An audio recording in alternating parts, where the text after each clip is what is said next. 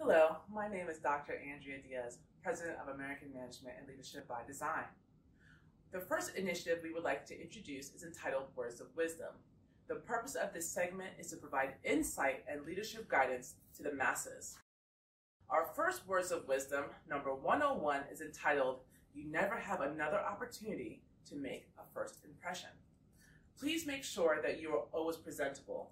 Please make sure that whatever you post, tweet, and whatever along those lines is always what you want to be seen and heard. You're always being judged not only on your appearance, your physical appearance, but your virtual appearance. So make sure that whatever you say is what you mean to say. You never know if the person standing next to you can offer you a job, guidance, or be a connection for you to help advance your career or your professional endeavors. So please make sure to always present well the first time.